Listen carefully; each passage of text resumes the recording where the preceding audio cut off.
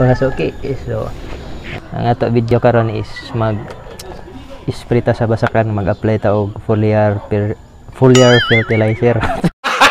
Gago! o samantanan bunga. So kinahanglan siya applyan og foliar.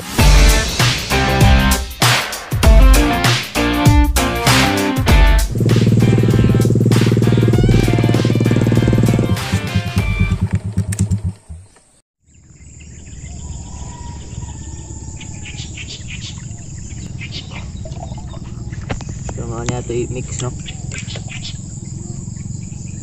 Mix og foliar plus insecticide. Tiblahon sa nato ning gadan. Ano ginagamit nato?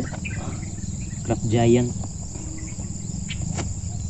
Apply ta og gold kay para sa mga likis-likis sa bulan pod nato og kaning gadan at sa nitimplahon sa sa litrohan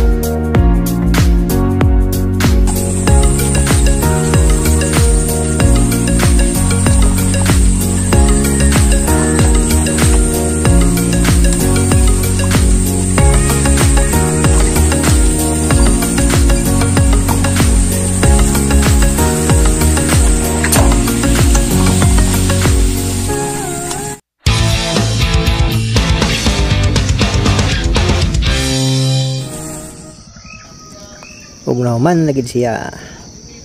Pero medyo hawi kay 20 ka tangki. Pero oksra. Basta hatagang tagmayong grasya. Daghang salamat.